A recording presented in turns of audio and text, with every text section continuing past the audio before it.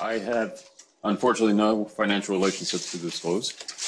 Uh, so I'm going to talk to you about workstations, uh, laptops, your phone, televisions, uh, go over some exercises that you can do, and then uh, at the end we'll open up for questions. So, what is the right workstation for you? I don't know. That's the honest answer. Is it a sitting desk? Is it a standing desk? Is it a laptop? So, how do you know this is the right one for you? Is there something better? The honest answer is is it set up correctly, making it safe? And are you comfortable? Now, the biggest question I always get is how long should I sit or how long should I stand? There you go. Sitting 30 to 40 minutes. All right. After that, you want to get up and move. Go get something to eat, go get something to drink, walk around, whatever. Okay. Standing, if you're standing at a workstation, 15, 20 minutes. And then you want to move. You want to get something to eat, something to drink, you want to sit down. No longer than that. All right. So, whether you sit or stand or use a laptop, the important thing is, and this is where everything starts, it's your posture. Okay? You don't want to be slouched. You don't want to be sitting like you're in the army. You want to be right here in the middle. Okay? Here, here, right in the middle. So, how do you find, we call this neutral. How do you find neutral? You're going to go to what I call the extremes. So, first, everybody sitting here, everybody sitting home, slouch. Slouch right now in your chair. If you're standing up, slouch while you're standing. Okay? So, this is one extreme. Now you're going to go to the other extreme here. You're going to sit all the way up straight, shoulders back, chest out, like you're in the army, then hut. Now find the middle point between these two. That's neutral. That is how you practice it throughout the day, every day, for the next two to three weeks until your muscles adapt to this position. Okay? You slouch, you arch, you relax in the middle. And then after three weeks, your postural muscles will adapt to this position. And then if you start to lose it, your muscles will talk. You have to have a good ear and listen and say, oh, wait, I need to get back into neutral.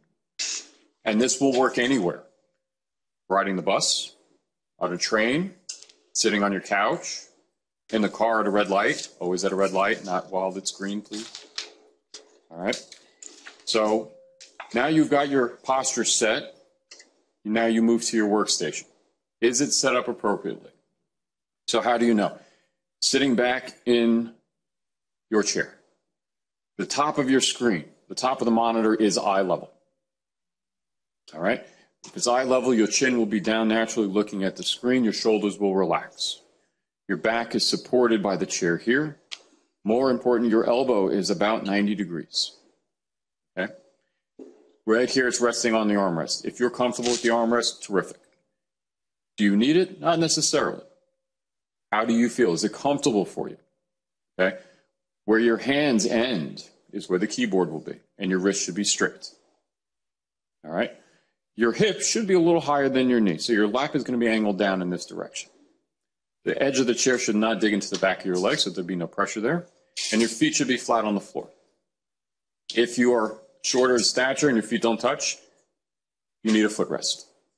If you don't have a footrest, a phone book, a couple reams of paper, whatever. As long as your feet are in contact with something to support your legs and take the weight off your back. All right? If you have a sciatic condition, you want this chair lower so your hip is below your knee and your knees are higher up so your lap is going to be angled in this direction. That'll put the nerve in a slackened position. You'll be much more comfortable. Right? So all of that is there. And I believe we're posting this. So this will be available to everyone. we have them? Same rules apply to a standing station. Screen is eye level.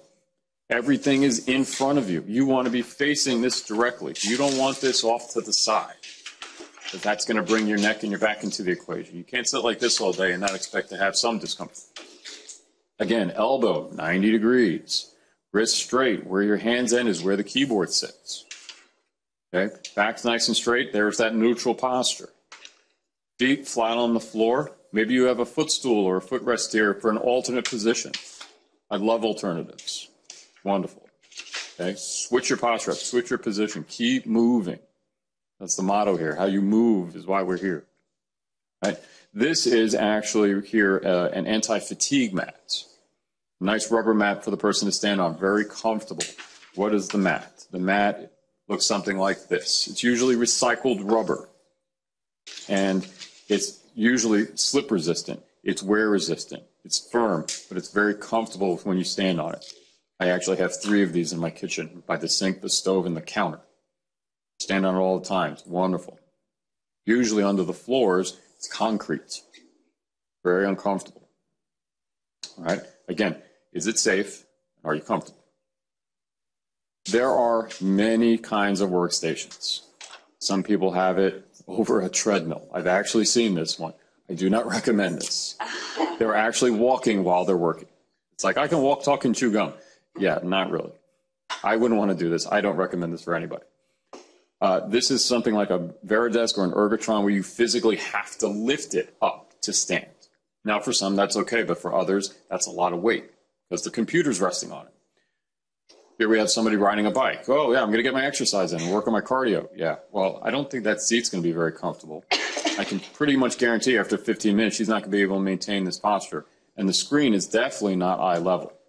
I'm going to get to that in a laptop in a minute. This person here, I'm assuming it's the lights, but I think we've all felt like this person here. What am I doing? Is this right?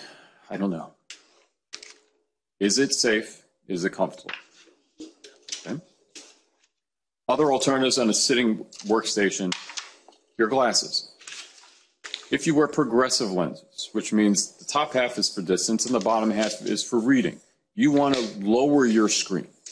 This person's screen here, you can see, is about eye level for her.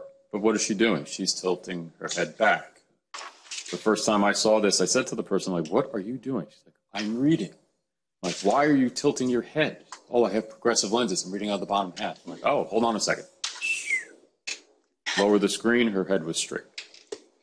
If you do a lot of transcribing, you look at material and then you're typing onto the screen. You want some kind of board to support the material so you can just look down and up at the screen. This is a document arm. You can get this at Staples, Home Depot, or uh, uh, some other office type of store. Attaches to the side of the monitor here. You can connect the paper, and then your eyes are just moving side to side instead of down to the table and then back up to the screen.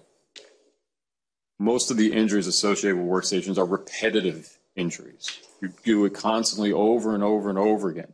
It's not what happens in a week or a month. It's a year, two years, five years, 10 years. All right. Monitors. Nowadays, the craze is, oh, the more the better. Mm, maybe. Okay. So some people have two, some people have three. I've seen people with six. Is it set up correctly? So if you have two monitors and you use them equally, great. Sit in the middle. Be right between them, right here. So half the time you look left and half the time you look right. If you have three monitors and you use them equally, equidistant from one another, a third, a third, a third. If you use one more than the other, that one is center stage. The other one you put off to the side. And I would say you put it on your writing side. So on your non-writing side, you will put the phone. I'll get to that in a minute. Again, many alternatives. Lots of monitors. Here's one, one monitor that actually has three different screens on it. This is a gaming system, six monitors. This person here, um, yeah. 24 monitors. Uh, it's a finance thing. I can't help this person. There are some things I just can't fix. Keyboards. Again, remember, you want that keyboard within reach. You want your wrist straight. Is it comfortable? Now, a lot of people I see they have these pads. You know what these pads are for? For your palm. I see a lot of people resting on their wrist. And I said, Well, how do you feel? Like, you know, I'm getting this pins and needles. I'm like, Oh, really? You know, that's carpal tunnel. What?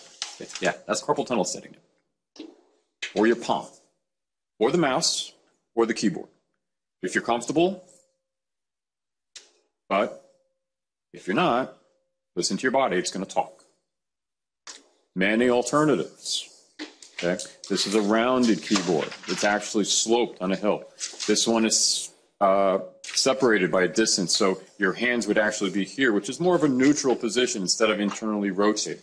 There are keyboards that come in two pieces, so again, it can maintain this neutral position. This one here is actually sloped, so your hands would be more in this position, which is more of a neutral position instead of your hands like this, which is pronated. Okay? Again, it's a comfort thing. What works for one person may not work for another. Your mouse, think of your mouse as an egg. You want to grip it gently. You don't want to crush the mouse, although sometimes you may want to. All right? You want to move from your elbow and not your wrist.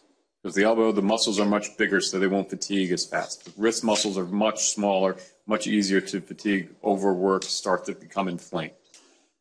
Okay. Uh, again, there's that mouse pad and the, the, the rest. For your palm.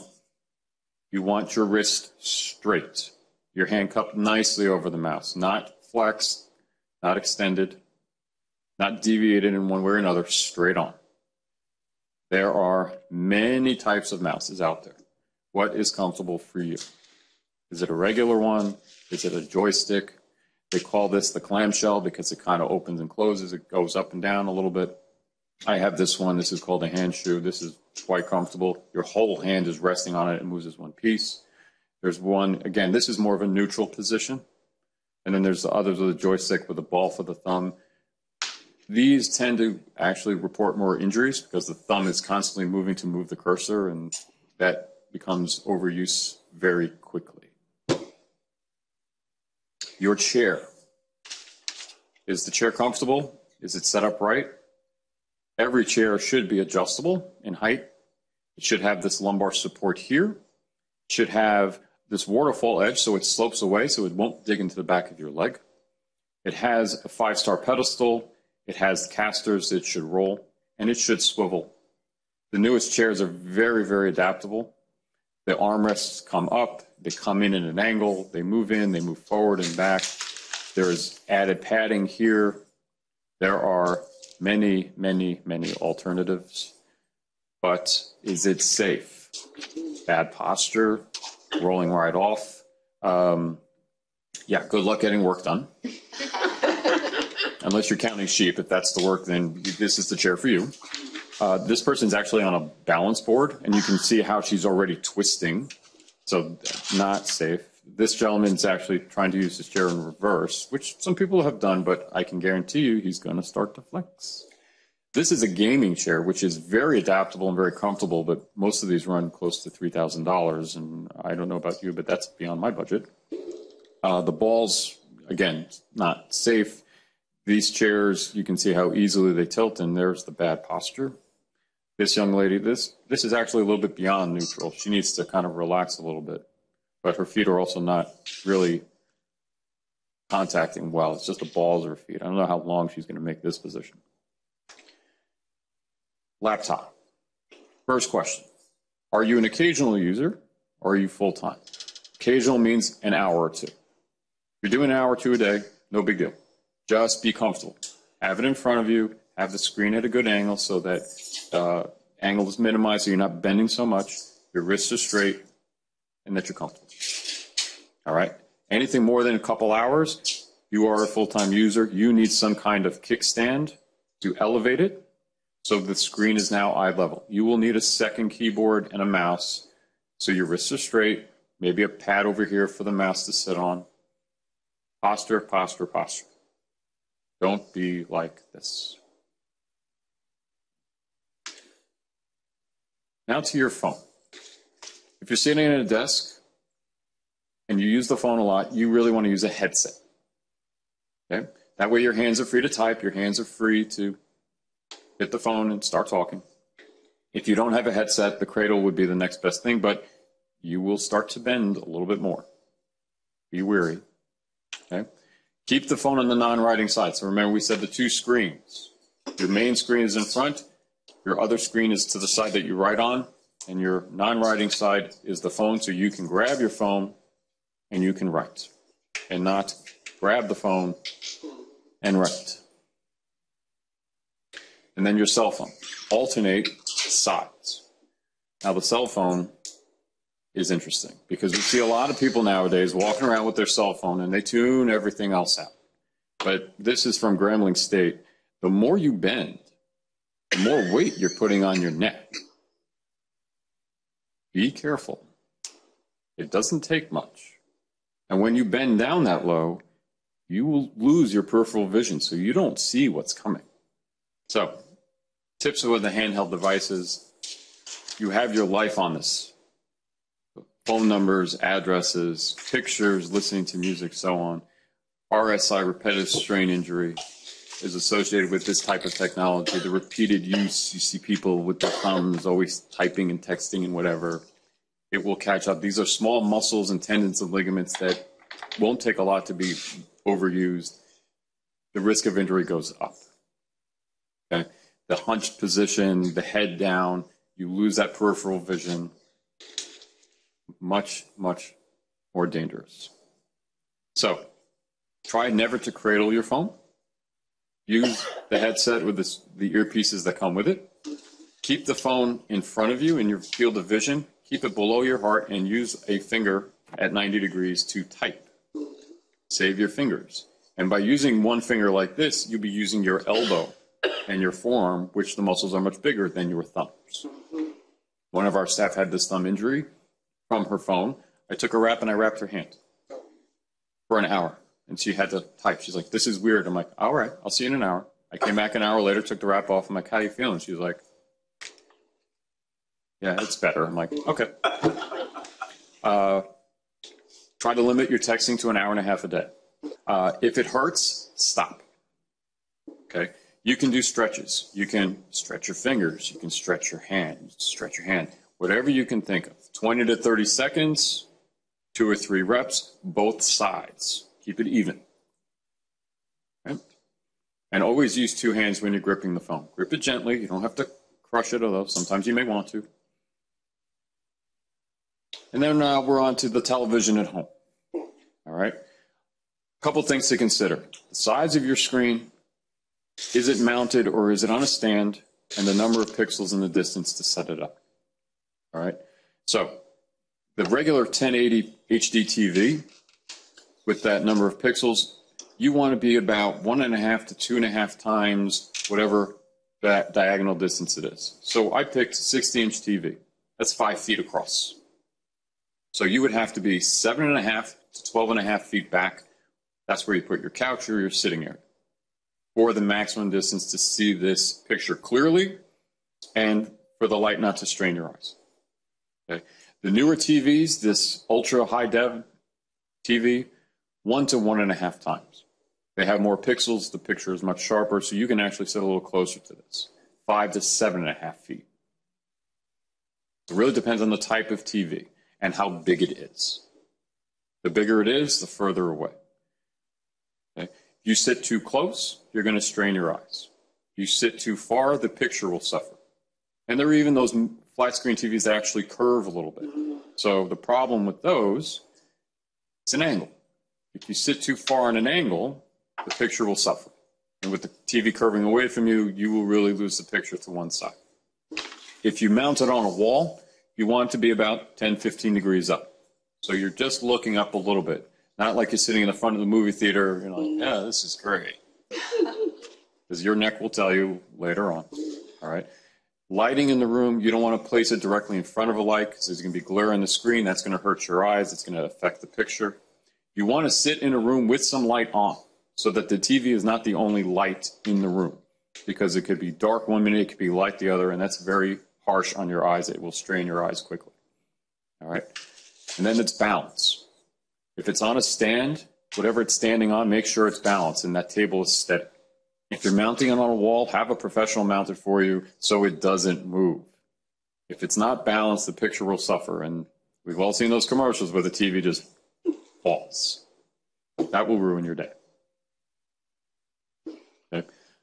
Do's and don'ts sit straight on, be comfortable, get up and walk around. Okay? On a sitcom, a 30 minute thing, no problem. You can sit through the whole show. You were watching the World Series last night, the four hour marathon. You, hopefully, you got up after every inning because some of them were longer than others. Okay? Stretch. Stretch your neck, stretch your back. I'm going to show you a couple in a minute. Okay? And then there's lighting. Remember, sit with the lights on. Don't sit in the dark. No movie theater mode. Okay? So, basic exercises you can do at your desk, at a chair, in the car at a red light, on the bus, the train.